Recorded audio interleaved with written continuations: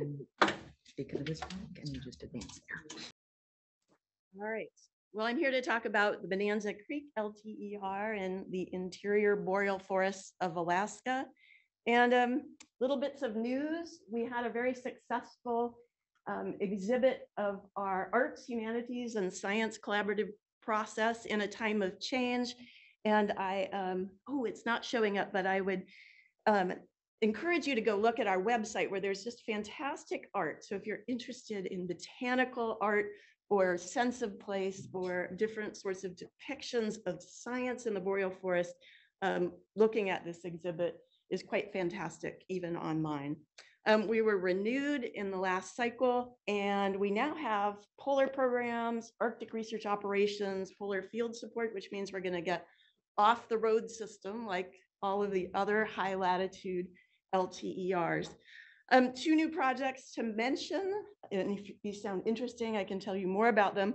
One is a, a circumboreal Arctic carbon warning network, AWARE, and the second is sustainable ecological engineering and design, SEEDS, for wildfire risk reduction. All right, so I want to start here first, just thinking about Bonanza Creek Experimental Forest on the Tanana River. This is the ancestral lands of the Dina people of the lower Tanana River. And it is with them that we seek reconciliation, particularly in the new iteration of our LTER renewal, where we're working towards increased collaboration to provide information and capacity building for Alaska Natives in the interior forests. Okay, so fast forward a little in time and we'll think of the very first Bonanza Creek LTER, where my progenitors Keith Van Cleve and Les Viereck used distance from this river as a way of isolating the state factor of time in ecosystem development. So space for time to infer ecosystem development after disturbance. And although they didn't depict it in this early figure, this also provides mechanistic understanding of the factors that drive spatial heterogeneity as you move away from this large boreal river. All right, so fast forward even more in time to the last decade of the Bonanza Creek LTER, where we've had a lot of focus on longitudinal scaling to understand the role of the boreal and the Arctic biome in the Earth system, particularly by understanding carbon cycling feedbacks to climate.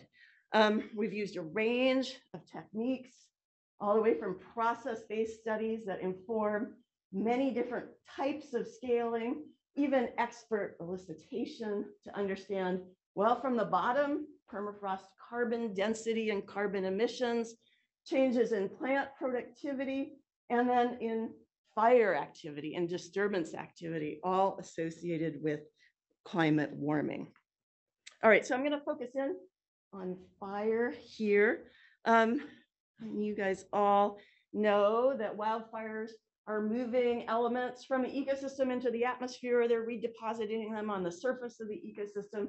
And simultaneously, they're opening up space for recruitment of new individuals, new genotypes, new species. So what we're primarily interested in is understanding both contributions of boreal carbon to the atmosphere via disturbance, but also how those changes in ecosystem structure affect the resilience of net ecosystem carbon balance to climate warming and wildfire.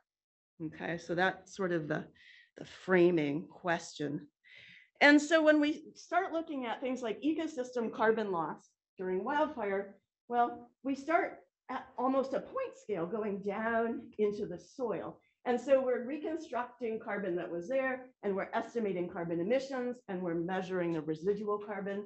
And some researchers have been known to take carbon loss from that very point basis and to extrapolate it by the area burned. So that's probably my specialty a mean extrapolated by a very large area. But we know that all of these things vary and they vary at different spatial scales. And they likely have an important influence on burning and carbon emissions. So think about the spatial scale of understory vegetation, or maybe the spatial scale of stand structure, or finally, when we get into the patchy distribution of lakes or the dendritic distribution of watersheds on the landscape, we have to start thinking about scaling, right? And so one of the scaling rules that we've been focusing on is the idea that as you increase the sample area, we should expect that carbon emissions decline. So if you're someone like me that uses a little ruler and a soil knife to estimate emissions, probably overestimating emissions.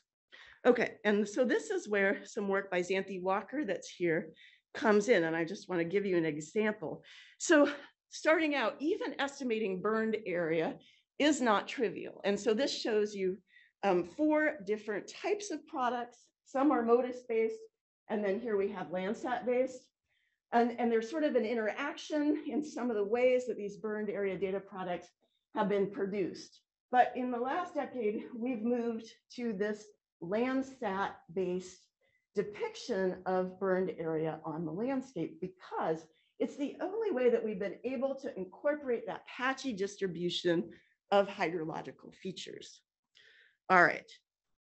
So thinking about scaling wildfire carbon emissions, you know, it goes beyond just that ruler in the soil. It goes to understanding landscape scale variation in carbon pools. So for instance, in this context, the differences in drainage from really dry to really wet, and then understanding how other landscape factors like the proportion of the key species black spruce affects combustion. So hypothesis testing via statistical modeling based on field data that's much more comprehensive than, well, how I started out. Um, but then we can scale that using our MODIS products with machine learning and some other types of landscape scale information to get then a estimate of carbon emissions throughout the whole fire perimeter. So process-based understanding and then spatial scaling.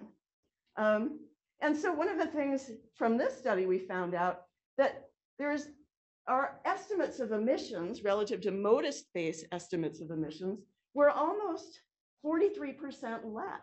Okay, so a substantial reduction in the estimate of emissions, partially due to better fitting landscape dynamics or landscape patterns to estimates of emission, but also due to an improvement in the remote sensing of burned area.